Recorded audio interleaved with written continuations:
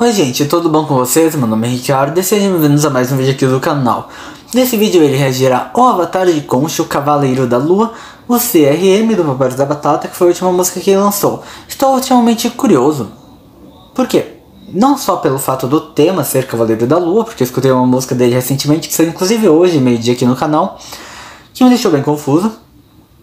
Uh, mas é justamente porque é daquele projeto que ele estava tendo, onde ele, como pode dizer, ele ia fazer uma música ali sobre cada mídia da Marvel, ali sobre os filmes e as séries, até chegar nas mais recentes. E Cavaleiro da Lua é uma das mais recentes.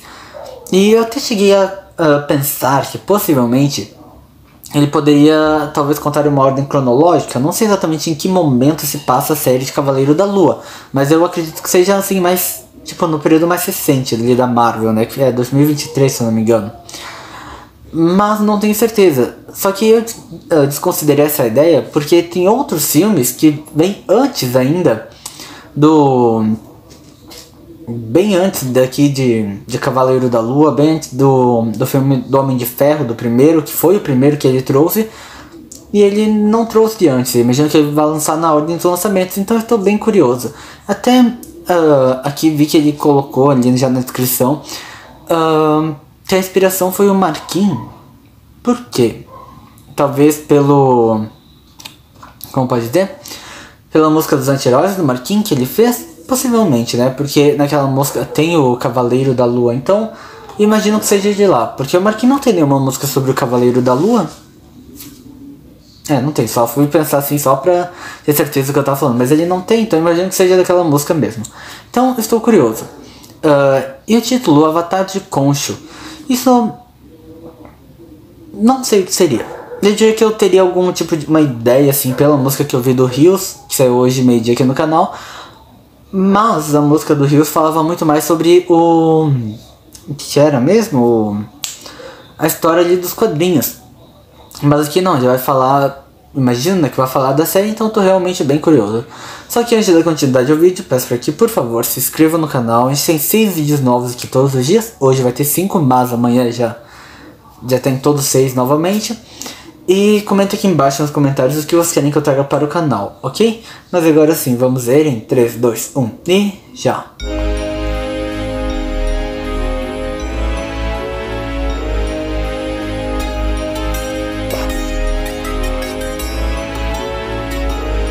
Steven Grant, eu tenho medo frequente. Que o sono me domine Steven Grant? Não era Mark Spector o nome dele? tão crescente me controla totalmente. Acho que estou perdendo minha mente. Lá toda perdido. Minha mandíbula fora Se você quer escaravel Tudo bem, então você pode pegar. Apaguei de novo, eu sabia todos assassinar. Então de novo eu acordo no meu quarto. Perseguido no momento, okay. não parece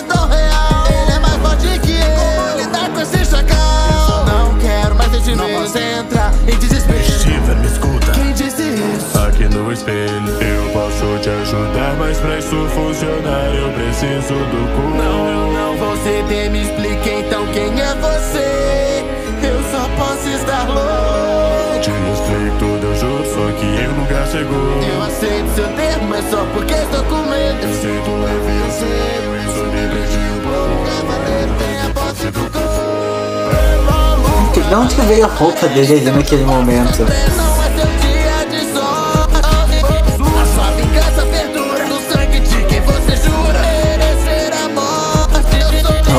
Gostei.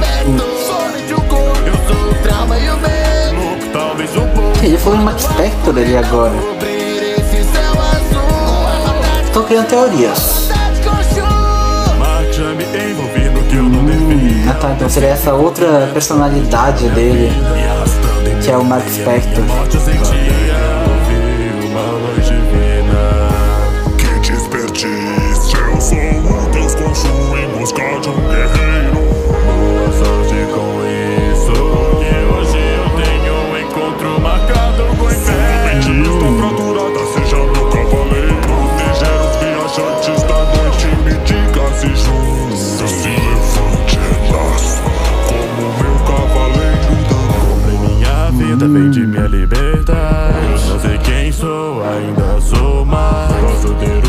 Da imortalidade. Ah, tá. A roupa dele é tipo o poder mesmo, pelo que mostrou ali, né?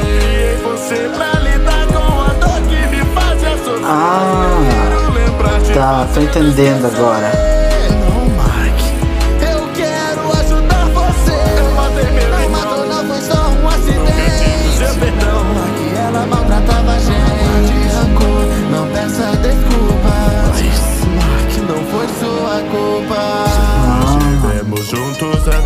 Nossa morte. Se foi pra que eu seguisse forte.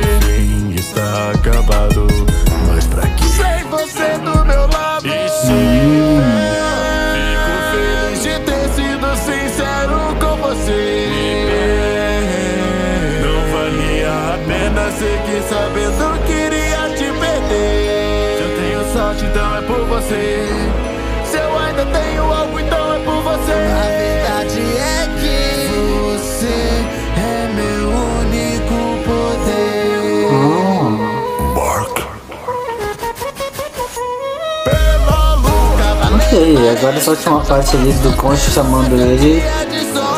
Hum, entendi, mas não entendi. Tô criando teorias. sangue de quem você jura merecer a morte.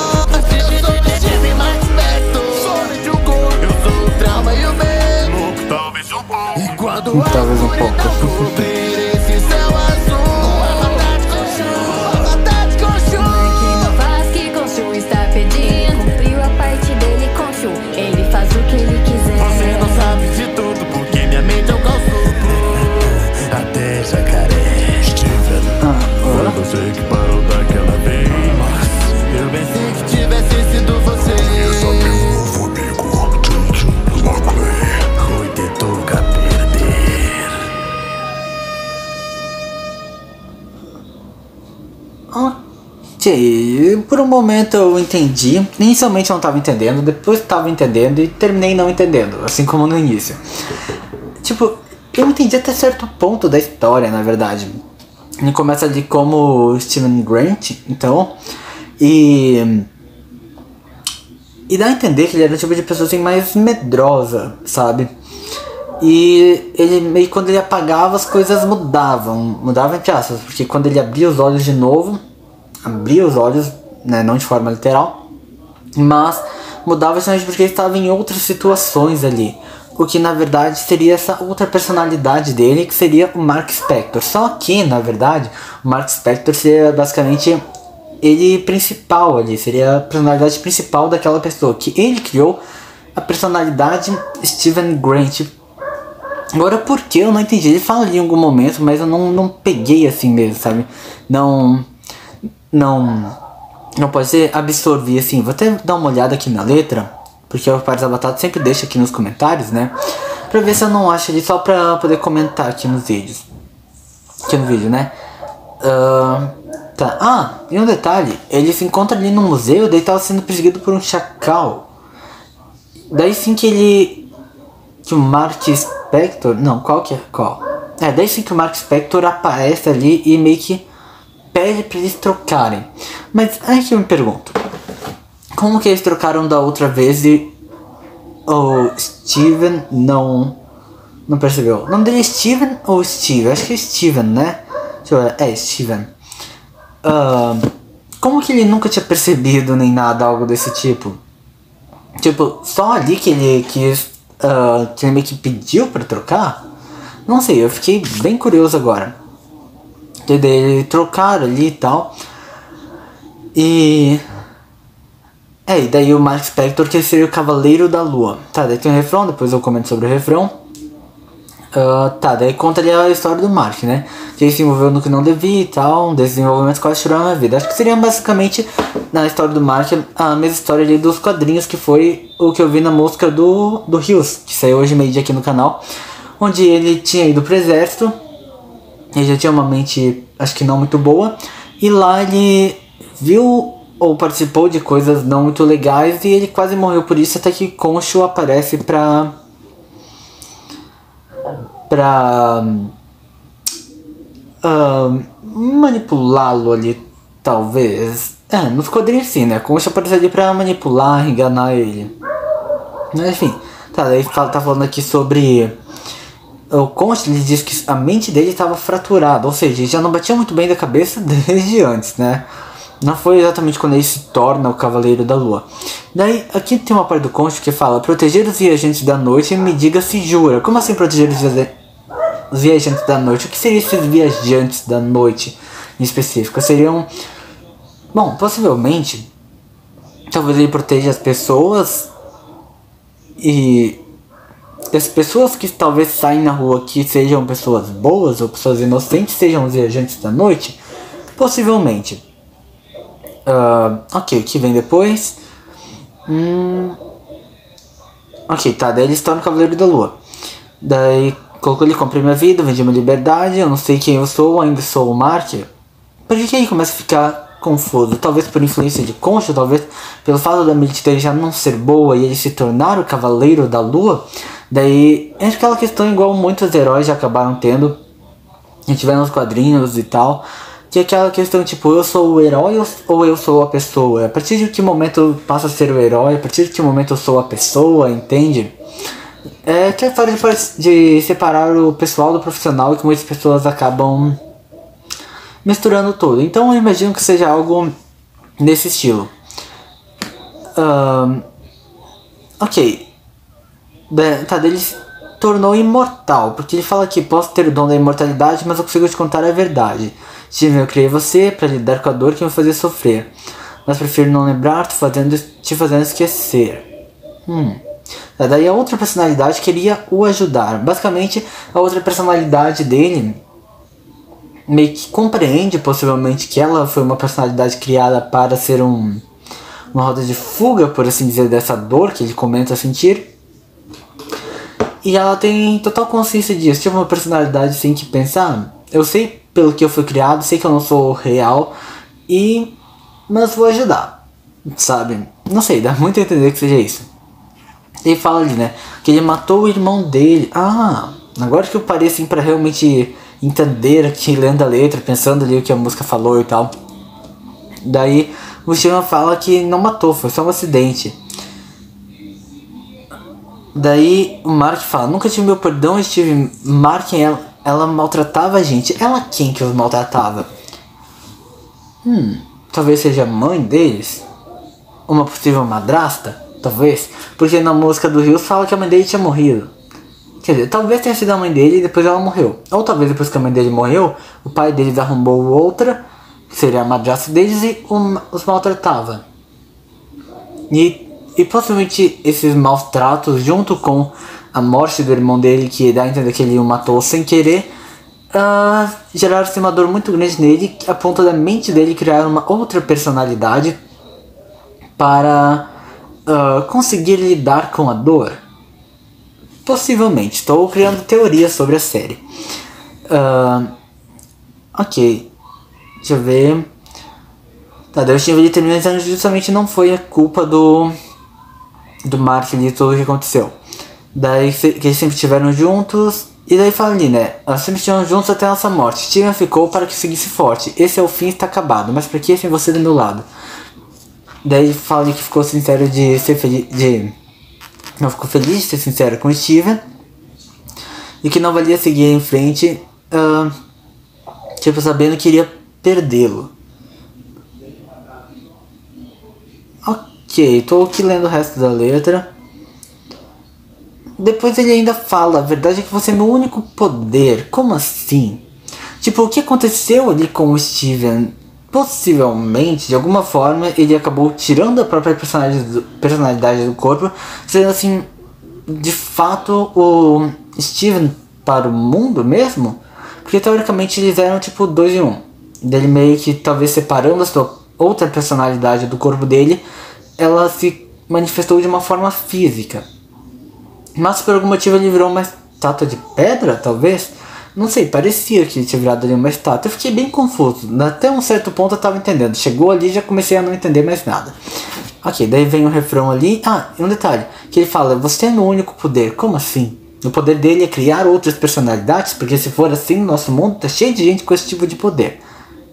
Realmente, cheio de gente, literalmente todo lugar que a gente olha, inclusive quando a gente olha no espelho, então são. Nós todo mundo cheio de poder, né?